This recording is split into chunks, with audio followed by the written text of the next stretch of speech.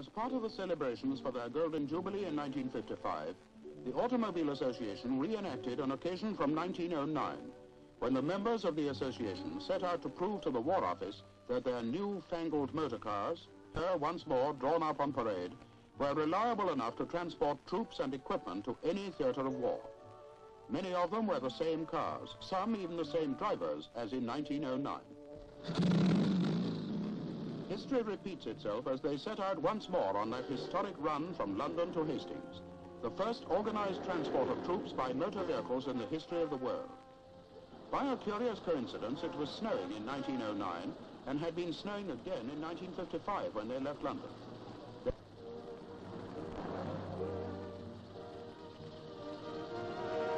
Undeterred by the icy winds, they were soon bowling along at a spanking pace a De Dion Bouton. Then another. Now a 1904 Wolseley.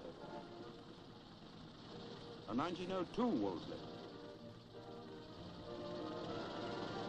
A 1904 Humber and a 1904 Star.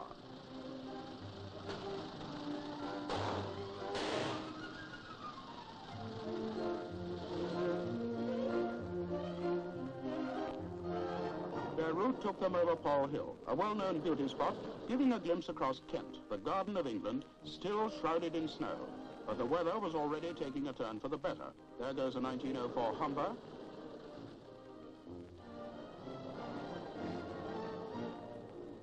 Then come the two de Dions of 1904 and 1907, still making good time.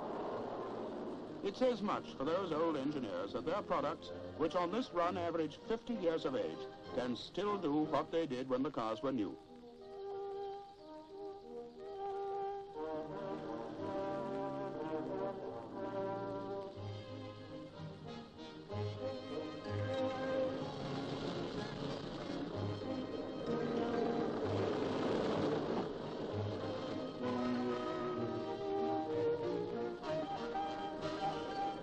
What's this? The white steam car of 1908, calling in no doubt for some more white steam. And here's a 1909 Vauxhall, proving a little temperamental. But the rest of them, if they're to convince the War Office, have got to keep going. After all, this is just what the cavalry said would happen. I hope the soldier's got his haversack rations with him, though he looks as if a rum issue was more in keeping with the occasion. Well, he seems to have got steam up again now. And he's back on the road too. If his gears had gone, he might have had to finish the journey in reverse. Sevenoaks Hill brought out the best and the worst in them. The 1902 Wolseley wagonette takes it in its stride. But the 1904 Beeston Humberette makes heavier going of it. And as for the 1904 Speedwell, it only speeds as well as the infantry push.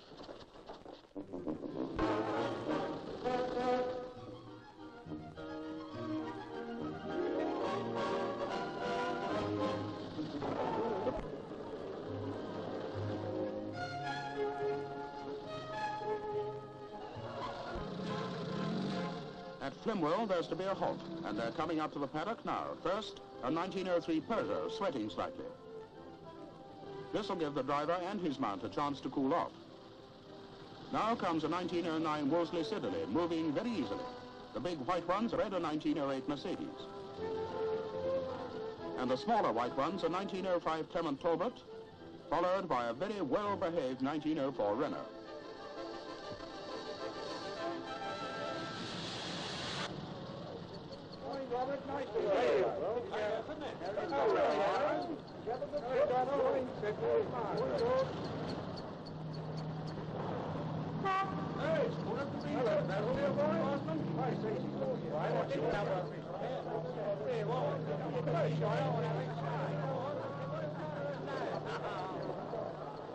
They say the first 50 years is the worst.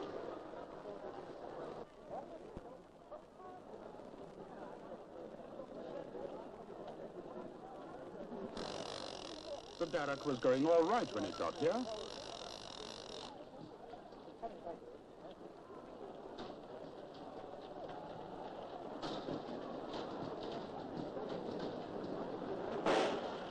He's making sure the engine isn't falling out.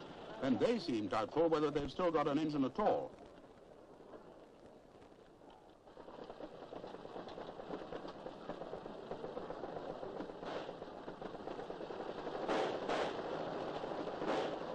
Starting is such sweet sorrow. There's the white Rolls-Royce Silver Ghost of 1907. Still does 70 and has never yet had a rebore.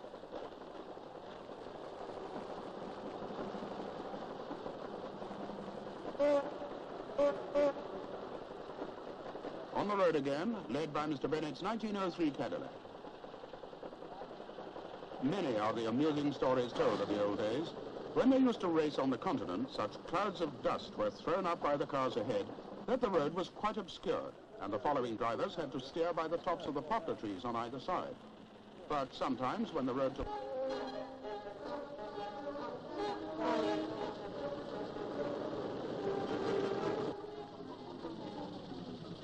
That pause for refreshment has made them really enthusiastic. Everybody's in the spirit of the drive now. This chap got so excited that he came all the rest of the way to Hastings, while this one seems unlikely to get there.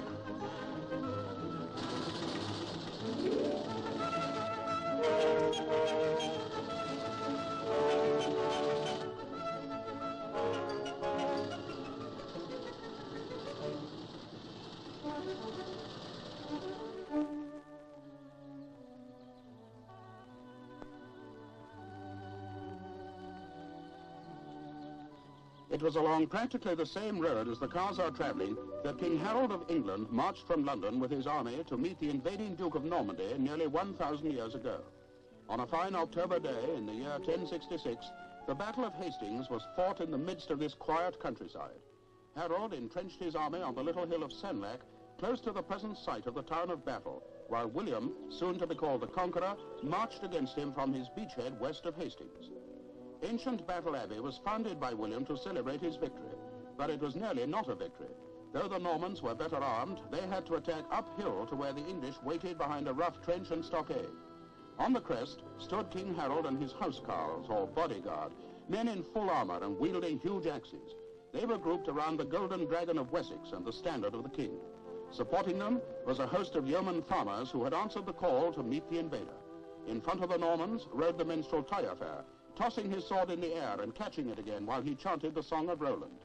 He was the first to strike a blow and the first to fall, and the repulse of the Norman footman was followed by the repulse of the Norman horse. Beneath a massive beech tree, the old high altar of the abbey marks the exact spot where Harold fought through the long October day and died of his wounds in the fading light of evening. It is strange to recall that this was the very scene of a great battle that changed the course of history. Again and again the Normans attacked up the hill, but it was not till three in the afternoon that they gained a foothold on the crest, and still the English fought on.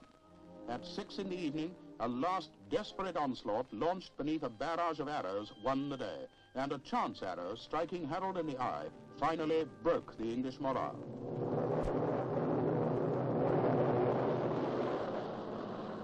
It's a long cry from the Battle of Hastings to these modern army vehicles, part of a column provided by the War Office to follow the parade and show how troops are carried today.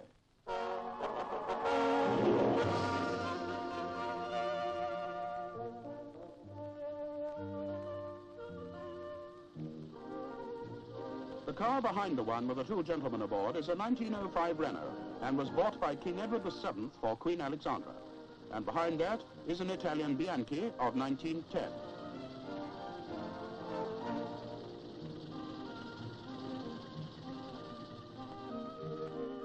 Here comes the leader of the convoy, Mr. Bennett's 1903 Cadillac. Mr. Bennett led the 1909 run in this car. He drove it in the 1,000-mile reliability trial of 1903, repeated the trial in 1913, and at the age of 80 in 1953, he did the same 1,000-mile course in the same car. The success of the 1909 run. German papers in particular published full accounts with maps and illustrations. And five and a half years later, when England and Germany went to war, over a thousand members of the Automobile Association offered their cars for war service. Among the things the War Office learnt from the run was that soldiers' caps needed chin straps, and chin straps date from that time. There's the 1902 Wolseley wagonette again. It's over seven feet high, so it has to be careful of low bridges.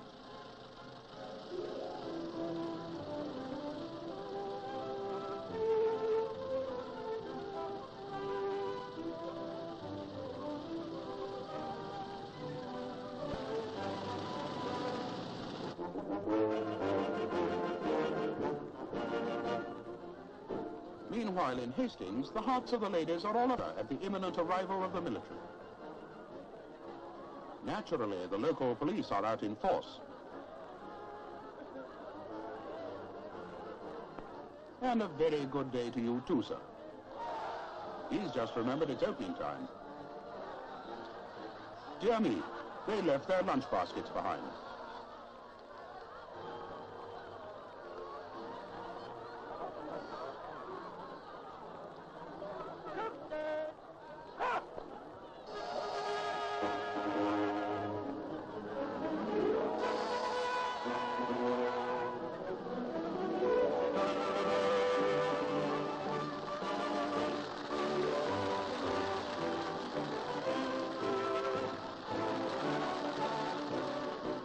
Now Mr. Bennett heads the parade past the saluting base, as he did in 1909.